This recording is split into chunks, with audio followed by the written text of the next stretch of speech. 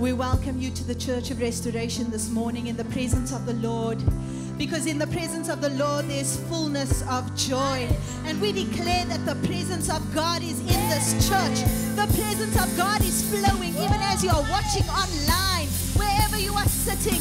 The presence of the Lord is with you. I declare it and I decree it. And I want to read you Psalm 46 this morning. God is our refuge trouble. Therefore, we will not fear, even though the earth be removed and though the mountains be carried into the midst of the sea, though its waters roar and be troubled, though the mountains shake with its swelling. There is a river whose streams make glad the city of God, the holy place of the tabernacle of the Most High God. God is in the midst of her. She shall not be moved. God shall help her. Just at the break of dawn, Karabasandra Maso, the nations raged and the kingdoms were moved. He uttered his voice, the earth melted. The Lord of hosts is with us. The God of Jacob is our refuge. Church of Restoration, wherever you are, wherever you're watching from, Jacob is with you. The God of Jacob is with you today. All things are possible because the God of Jacob is in our presence. Hallelujah. As we watch the service, I pray that your life will never be the same again and that the God of Jacob will rest on you and your household and your family in the mighty name of Jesus. We give God praise in this house. Enjoy the service with us. We welcome you and we love you. In Jesus' name, amen. Itembalam,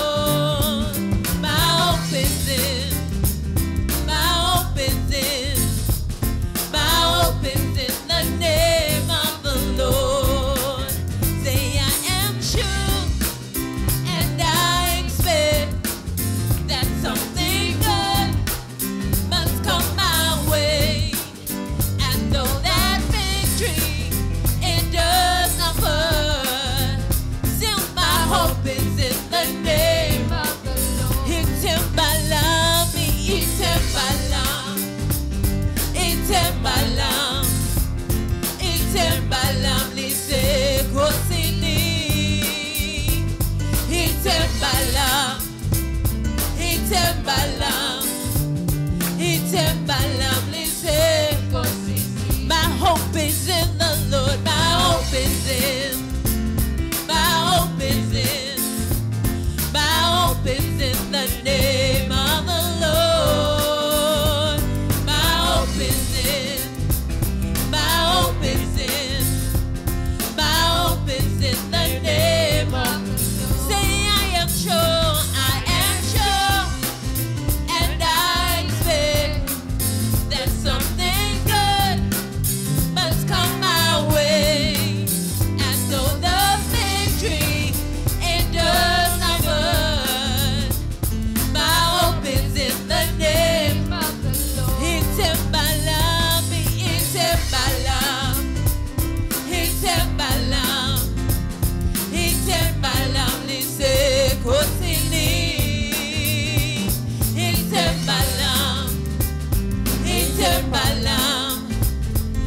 September.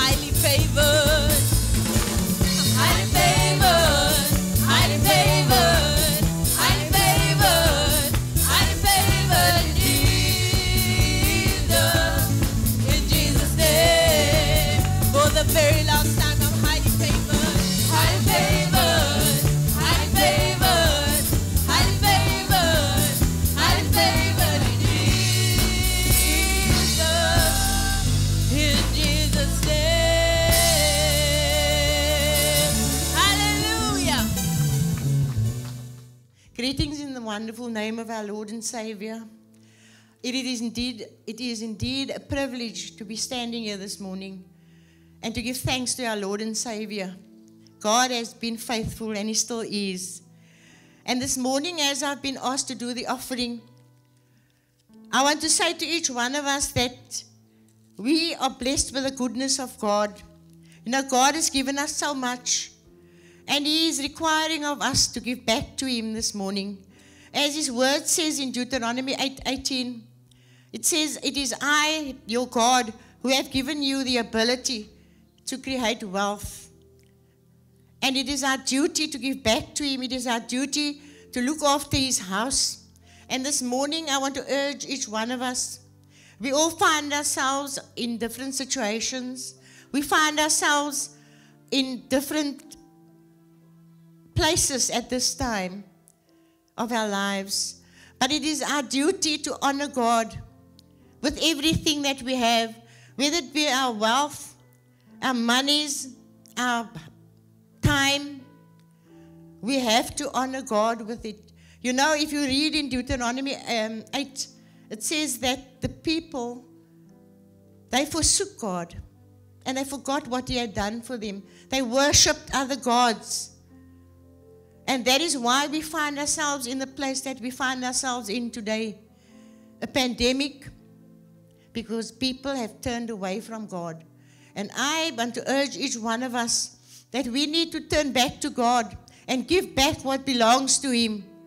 Give back what God deserves. He deserves our best.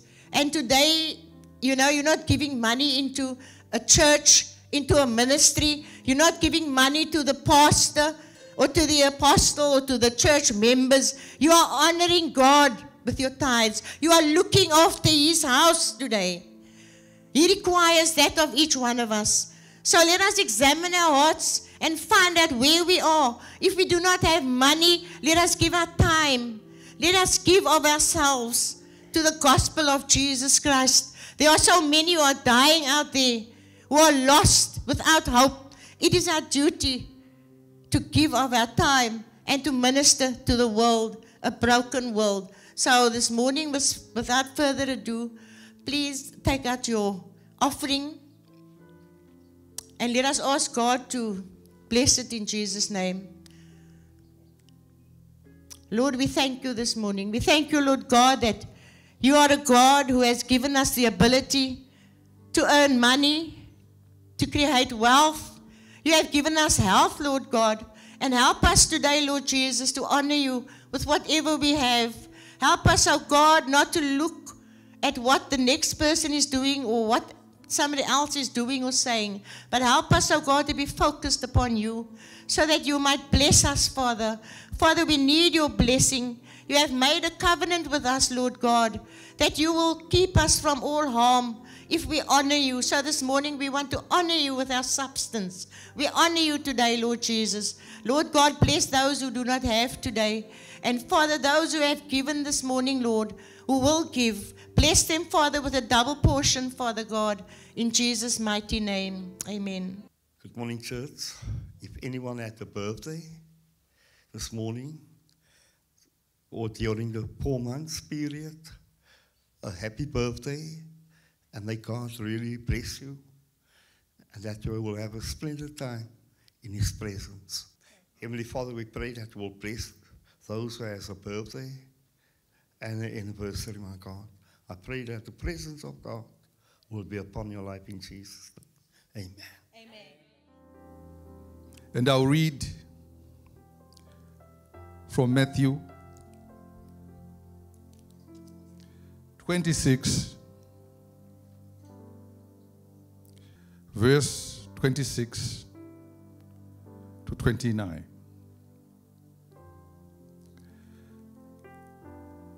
As they were eating,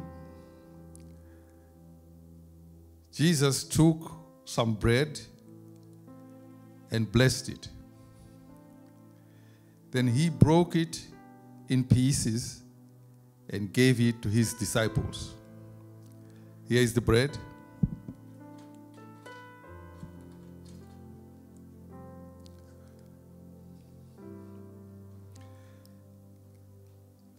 Saying, Take this and eat it, for this is my body.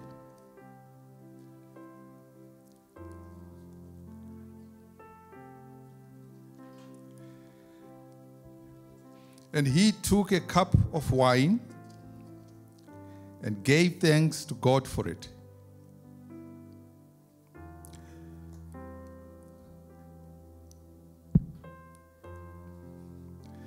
He gave it to, his, to them and said, Each of you drink from it. This is my blood which confirms the covenant. Some manuscripts say the new covenant. Between, between God and his people. It is poured out as a sacrifice to forgive the sins of many. Mark my words, I will not drink wine again until the day I drink it new with you in my Father's kingdom.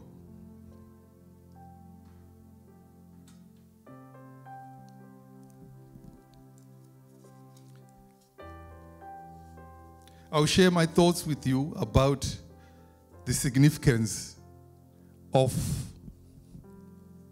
this act by Jesus.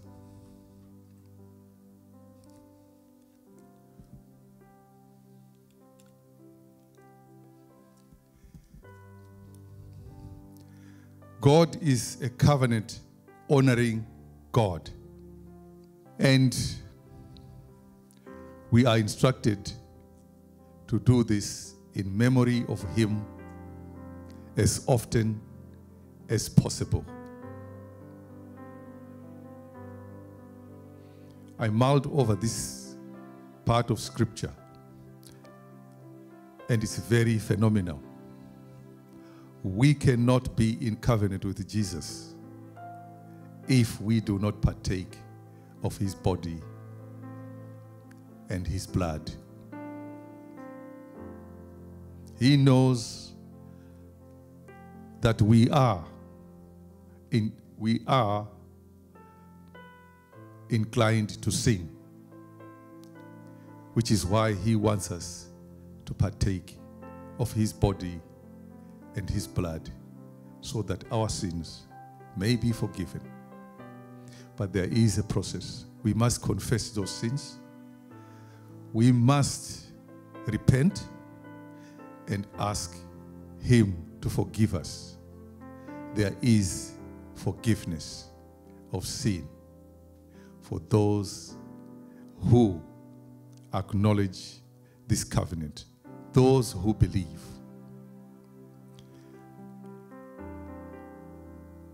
And, brothers and sisters, I encourage each one of us, wherever we may be, not to take lightly this covenant. Before we indulge in taking the, the bread and the blood of Jesus, we need to thoroughly examine our hearts. To help us through the process, can we please bow our heads in prayer? Father, as we humbly present ourselves before you in the mighty name of Jesus, we identify with your Son's sacrifice so that our sins could be forgiven.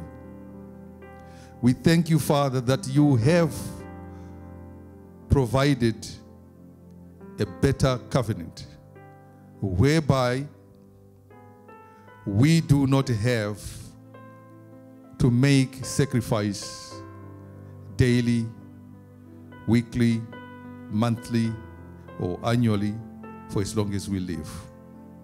Because your Son has paid the price once for all time. We bring our sins before you, my God. All of them, the ones that we have committed, and the sins we do not recall,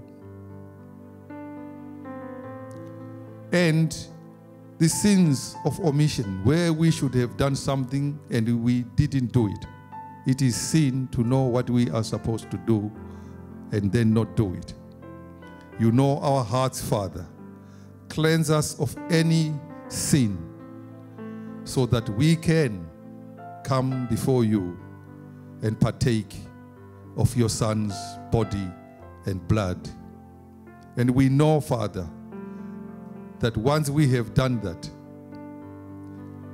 our sins are forgiven because the accuser cannot use them against us anymore. We thank you, Father, in Jesus' mighty name. Amen.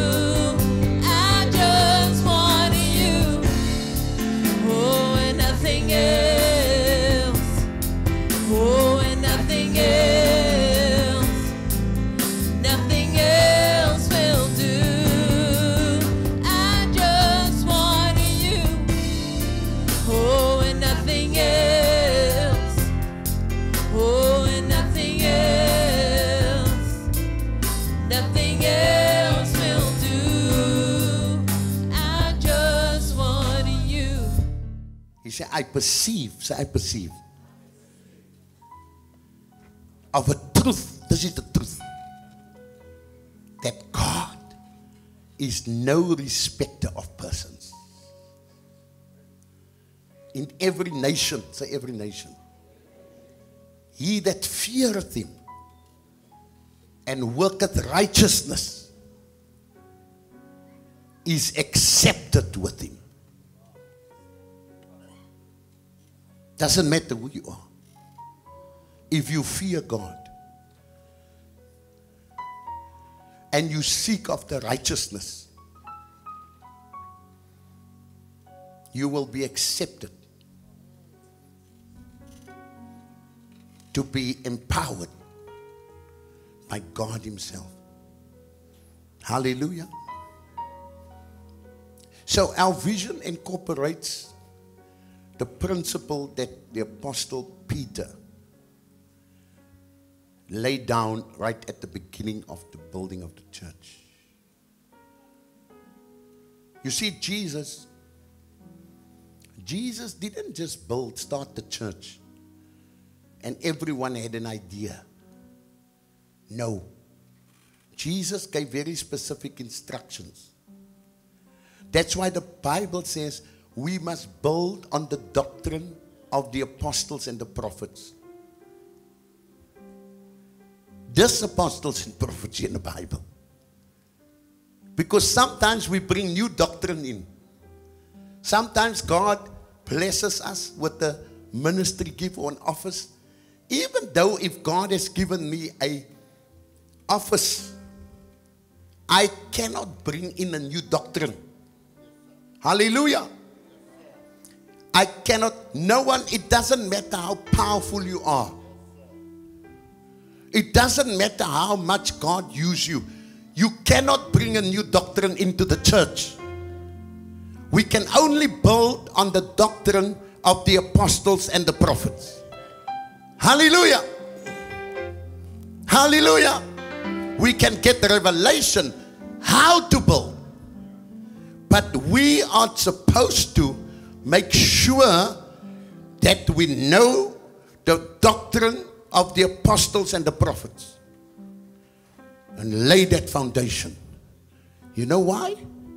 Because when that foundation is laid, then nothing, Jesus said, I am building my church, and the gates of hell shall not be able to prevail against the church. Who's the church? We are the church.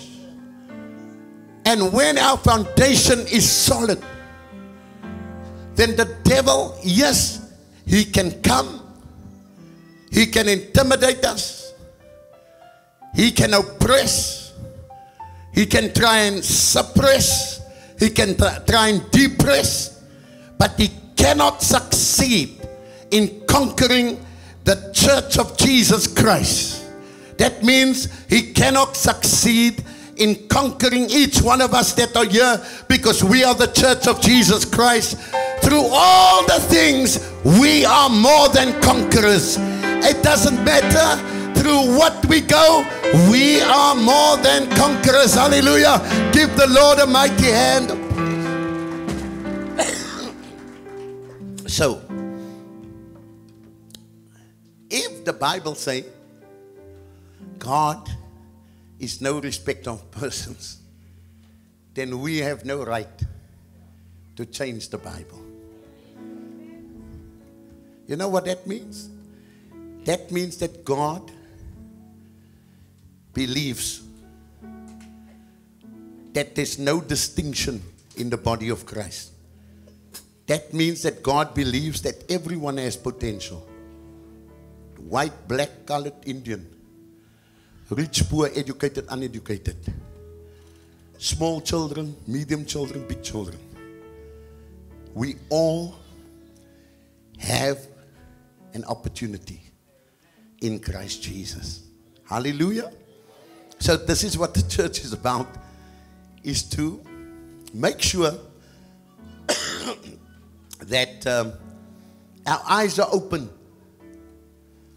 And it doesn't matter where you find yourself. Many people find themselves in a situation where they give up on their future. They give up, they say, I will never come right. I've heard people talk like that already. Things won't come right. Well, God is no respecter of persons. Things can come right. Hallelujah. Hallelujah. Hallelujah. Praise God. And I close, I just want to read another scripture. Galatians chapter 3, 29.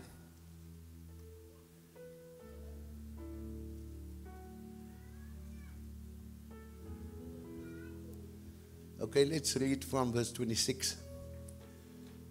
For you are all children of God by faith in Christ Jesus. Say, I'm a child of God. Say, I'm a child of God. For as many of you as have been baptized into Christ have put on Christ. There is now neither Jew nor Greek. There is neither bond nor free. There is now neither male nor female. For we are all one in Christ Jesus. And if we are Christ, if we belong to Jesus, then we are also Abraham's seed. And if we Abraham's seed, we are heirs, erfgename, according to the promise of God. So we are as sons of God, are the heirs because Jesus died. And he made a will. A will is his promises, the covenant. But the mighty thing about Jesus is he rose again. And Jesus is watching over his word to perform it with mighty signs and wonders following. You see, someone had died that make a will out and they leave an inheritance. They cannot make sure that everything gets carried out. Normally, there's a lot of fights with wills. They cannot make sure that every detail is carried out according to the letter because they did. But the Bible said Jesus watches over his word to perform it. So everything that you have to receive and I have to receive, Jesus Christ is watching over us to make sure that we're going to receive these things. That's why it's important for us as your leaders to direct you correctly, to be able to receive your inheritance. Hallelujah. Hallelujah. Physically, spiritually, financially, emotionally. And that's the other part of the vision of the church is that we make no distinction. We say with certainty, according to the Word of God, that God is not the respecter of person. And we say that if you have accepted Jesus, then you are equally important than the next person that have accepted Jesus. Hallelujah. And we say that we all have an equal opportunity to reach our potential in different areas. Hallelujah. Hallelujah. So, what we are to do as we move along, all the programs, all the teachings, is designed by the Lord to lead us and to develop us from level to level and from glory to glory. Whether it be your talents, your gifts, whether it be in the business realm, whether it be on the spiritual realm, whether it be in the arts and the song. Hallelujah. It's to develop you. That's the role of the church. Hallelujah. Glory to God. God used all types of people. He used Moses. He used David. Paul, murderer. Used a little boy to feed the multitudes. He used the apostles, educated and uneducated. He used the rich, he used the poor. There's no distinction with God. God can do miracles for all of us. Hallelujah. Thank you, Jesus. Let's raise our hands. Say, Dear Lord Jesus,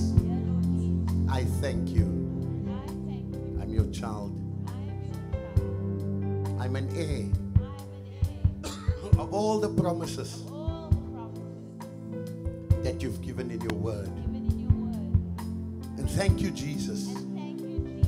While I stay in you, connected with you, I believe this morning that I will achieve my potential in the spiritual realm, in the financial realm, the physical realm, and in the emotional realm. Thank you, Jesus. You've made a provision and you are able to fulfill every promise to me, Lord. I thank you this morning for your blessing upon my life. As I grow in my faith, so I will grow in my level. I believe I will go from level to level. I will go from glory to glory. I do not consider the past. I do not consider my circumstances. But I believe your word, Lord, as the final authority over my life in Jesus' name. The name of Jesus. I thank you for the victory.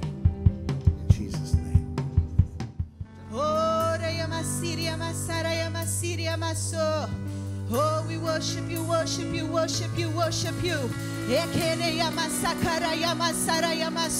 Oh, we speak the authority of God over this place, over this airways, over this ministry, over this property. Oh, Koro Yomosa, over this team. Oh, Koro Yomosi Masa. Oh, Jesus, come and show up, show up, show up in the people's homes as they watch this, God. Show up, show up, heal the blind eyes, heal the brokenhearted. Let their deaf ears open up in the name of Jesus. Let cancer be disappeared in the name of Jesus. Every spirit of divorce in the airwaves, we disrupt it and we dismantle it in the name of Jesus.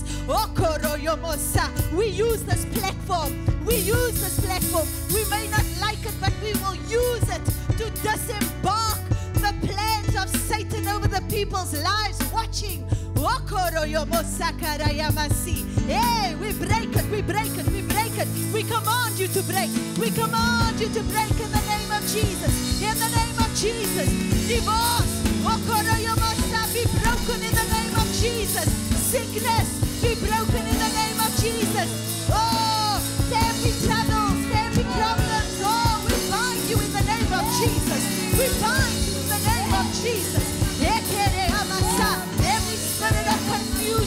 the saints of God.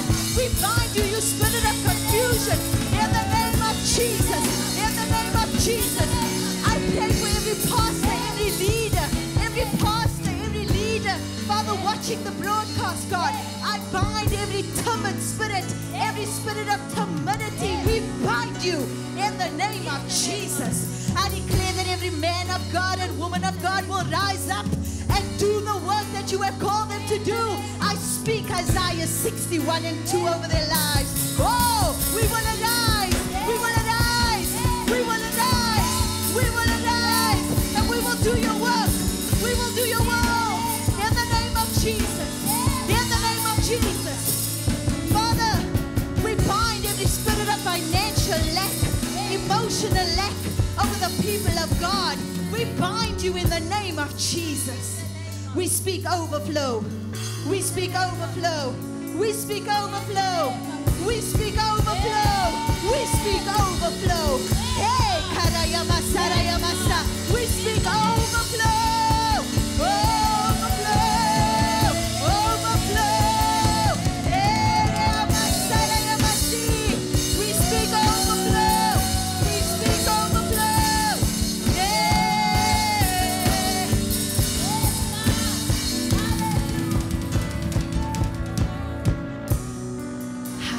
Hallelujah, Father. So, Father, we want to thank you for the service today. We want to thank you for how you have moved among us, oh God. In the name of Jesus, thank you for your word that was ministered. Thank you, Father God, for that praise and for that worship that we could lift you up wherever we are in our lives, Father, physically, emotionally, spiritually. Father, we thank you that you are going to change and transform our lives and do mighty miracles, signs, and wonders following in the name of Jesus. And so, Father, I pray that from this very day, that you will deliver us from all evil, Father God. And Lord, that you will prepare us for this week, that we will go out and we will do your work. We will do your will, Father, in the name of Jesus. And nothing will hold us back. Nothing will stop us because the work of God and the will of God will go forward. So I pray for everyone watching this as we close the service now, God, that you will come and show yourself strong, the refuge and the strong tower that you are. In Jesus' mighty name, we love you. Please feel free to contact us on the telephone number appearing at the bottom of the screen if you'd like to get involved with our outreaches this week, any of the programs, any of our missions. Please feel free to join us. We love you. God bless you.